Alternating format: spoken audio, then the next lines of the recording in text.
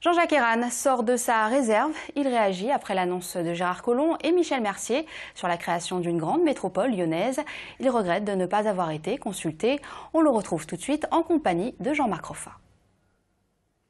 Justement, nous sommes dans le bureau de Jean-Jacques Eran, ici à la région, pour avoir tout de suite votre réaction lorsque vous vous reprochez c'est ce manque de concertation. Alors pourquoi on ne vous a pas consulté?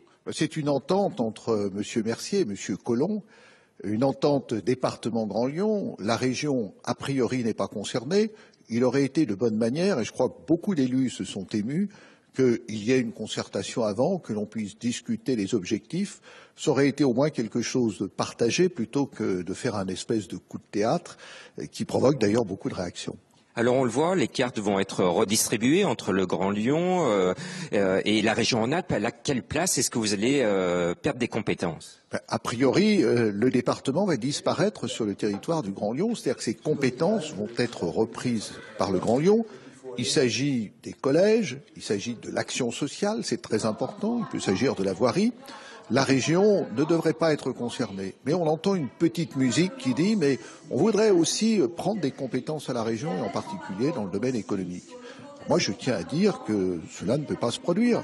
Et je mets en alerte le gouvernement. J'ai écrit dans ce sens à la ministre, Madame Lebranchu, pour dire la région intervient déjà sur le territoire du Grand Lyon, en cohérence, en cohésion avec le Grand Lyon.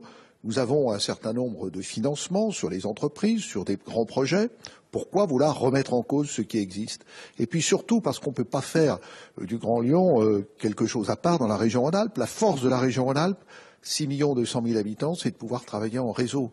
Au fond, les, grands projets ici à Lyon ne seraient pas valables s'il n'y a pas l'économie de, Grenoble, l'économie de Saint-Étienne. On ne peut pas être seul, isolé dans un territoire. Justement, est-ce que vous êtes pour ou contre ces super métropoles qui sont en train de se mettre en place au niveau du territoire? Moi, je dis, s'il y a des métropoles fortes, la, la métropole ne peut être forte que s'il y a une région forte. Et donc, la région Rhône-Alpes est là.